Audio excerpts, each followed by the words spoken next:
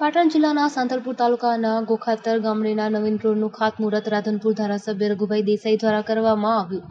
આઝાદી બાદ પ્રથમ નવીન રોડ ગામ લોકોને મળતા ગામ લોકોની અંદર ખુશીનો માહોલ જોવા મળ્યો હતો. લોકોની વર્ષોથી પડતર માંગણી પૂરી કરતા લોકોમાં આનંદ જોવા મળ્યો. આઝાદી બાદ વર્ષોની માંગણીને લઈને ગોખતર ગામડેથી લીમગામડા સુધીના ચાર કિલોમીટરના નવીન રોડનું ખાતમુહૂર્ત રાધનપુર વિધાનસભાના ધારાસભ્ય રઘુભાઈ દેસાઈના હસ્તે કરવામાં આવ્યું હતું. જેમાં કોંગ્રેસના કાર્યકર્તાઓ ખૂબ મોટી સંખ્યામાં જોવા મળ્યા હતા. તેમજ સમગ્ર કાર્યક્રમમાં સાથે સાથે ગ્રામજનો પણ ખૂબ મોટી સંખ્યામાં ઉપસ્થિત રહ્યા હતા.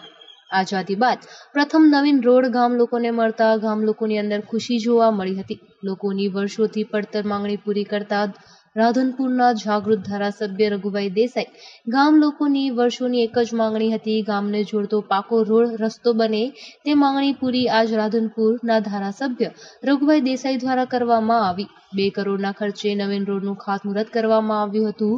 ધારાસભ્ય રઘુભાઈ દેસાઈ સાથે રાધનપુર તાલુકાના કોંગ્રેસના પ્રમુખ અને અન્ય મહાનુભાવોની ઉપસ્થિતિમાં કાર્યક્રમનું લોકાર્પણનો કાર્યક્રમ યોજાયો હતો. રસ્તાનું મુહૂર્ત આજ ખાસ હતું. રઘુભાઈ દેસાઈ આવીને આ રસ્તાનું મુહૂર્ત કર્યો છે. ખૂબ ખૂબ ગામ વિશે એમનો ધન્યવાદ. આટલું ગામ વિશે બધા કહેવા માગે છે. ધારાસભ્ય જે અમારો રસ્તો હવે થઈ ગયો. થઈ ગયો. આ વર્ષથી આ રસ્તો નહોતો. આઠ સિત્તેર સિત્તેર વર્ષથી આ ઓછામાં ઓછા. તો આ રસ્તાના કારણે ગાડા ખયા પડ્યા હતા. અને ચોમાહામાં ભાદરવા મહિનામાં રેલા ભાર જબરજસ્ત આવી ગઈ. અને અમારા છોકરાને અટક આવ્યું.